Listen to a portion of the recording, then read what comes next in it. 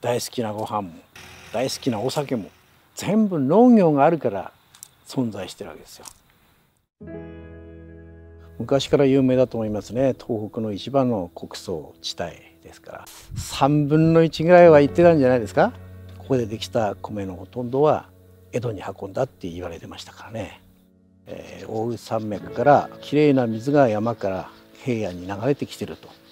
気候はですね作物にも適している地域なのかなっていう気はしますね。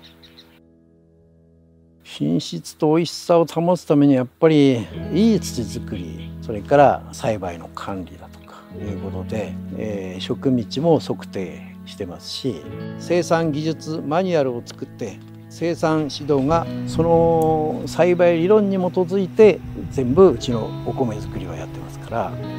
品質的には安定してるっていうね。やっぱり有機栽培的なものとか減農薬栽培。生産者が安全なものをやってるっていうことは消費者皆さんも安心して食べられるということだと思って理解してもらっていいと思います。笹錦と一目惚れ。どちらも宮城県から生まれたやつなんですが日本全国ならず寿司屋さんは笹錦を求めてるんですが冷めても硬くならないご飯甘みなんかも多いのでですね最適だなっていうふうに私は思ってます。笹錦と三陸の魚介類それでご飯食べたら最高だと思いますよ。